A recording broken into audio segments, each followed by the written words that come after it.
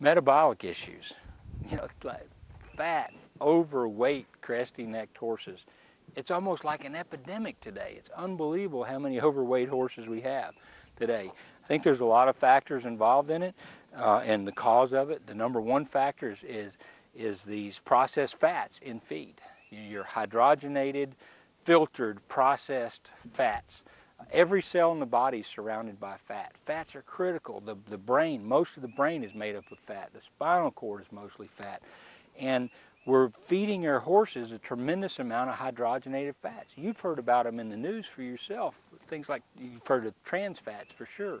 Well, our horses are being bombarded with this stuff every day through commercial feeds. And it's creating a situation called insulin resistance. It's creating these metabolic issues. Now, you can call them whatever you want, insulin resistance, metabolic, whatever. Uh, and they lead to laminitis, they lead to hypothyroidism, and so on and so forth. But fats are a big problem with it. Your sugars in your feed are another problem. Your molasses, your corn. Corn has the same glycemic index as sugar. You know, a person gets up for breakfast and the first thing he does is, uh, in today's time, is has a bowl of cereal or some type of, maybe even a donut, heaven forbid. But you have a donut, up goes the sugar. Imagine a horse having a grain meal that's full of sugar, full of corn, full of molasses, up goes the sugar. A little bit later, what happens? You have a sugar low. Well, people what do they do? If they have a break from work, usually about 10:30, they go have a high fructose corn syrup soft drink, which is awful. I mean, fructose is worse than sugar, but it gets the sugar back up in the bloodstream because the body's starving to death and they needed it, and you have the sugar high, sugar low, another sugar high. Imagine with these sugar low down here, your horse was trying, you're trying to train your horse in the morning, but on a sugar low. You know how you feel with a sugar low? Not very good. So the point is, anything that you can do to avoid this sugar high and sugar low, the less you're going to have metabolic issues. Sugar high causes insulin resistance. The body produces insulin to take care of the sugar. Sugar low affects the adrenal glands. They're stressed. They're, the body's starving to death, so it wears the adrenal glands out. Sugar high, sugar low, sugar high all day long for our horses, for us, just because of that first sugar meal of the day wears us out, wears us out metabolically. So we have no reserves left. You know, along comes a little stress, a change in grass, maybe an increase in the sugar from the grasses from a change uh, in the weather, barometric change, or change in the minerals from the from the fertilizer to get sucks up in the grass or bring you know, for more water in the grass. Anyway, any kind of change. It's stress from a, trailer ride, a stress from going to a show. They have no reserves left because they already wore them out just from the sugar highs and sugar lows. So how do you avoid these? How do you avoid these problems? Or how do you treat them? First thing is look at the change in diet, and that alone many times will do it. You know, get them off the commercial feeds with the junk fats and the sugars. Consider just oats. In my opinion, oats has just been miraculous for us, just plain old oats.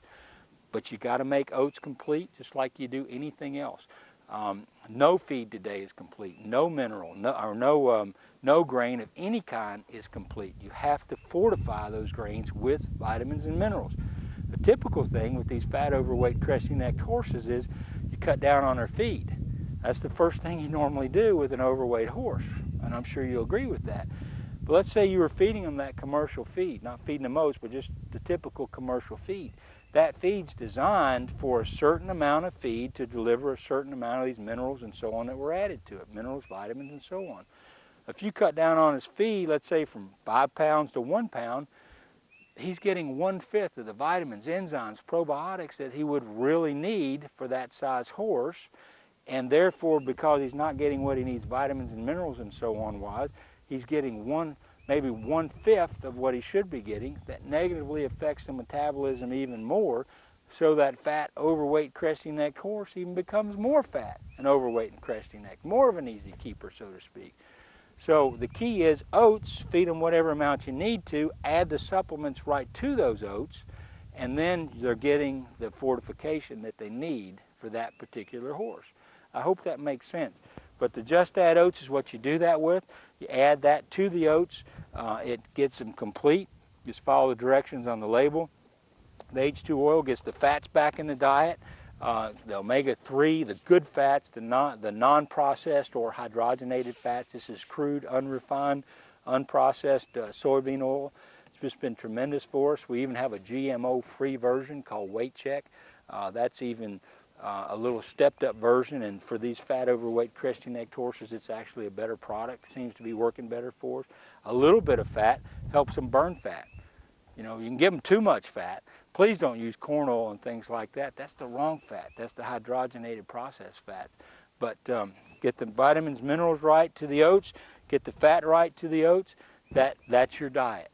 And then the other thing is um, picking up where mother nature might be able to help. And that's what the Red Cal does. It's a natural source of salt and mineral, free choice, all they can eat all the time.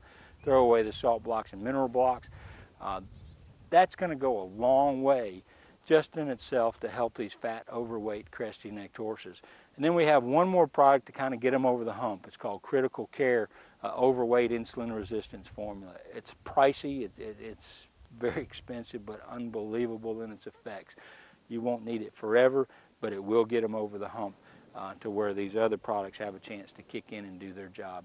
Uh, and it, it can be treated, it can be, they can be helped, no question. I don't care what the metabolic issue is.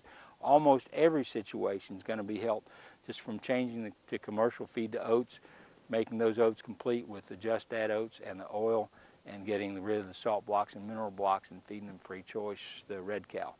So uh, don't hesitate to call us. I appreciate you being here today.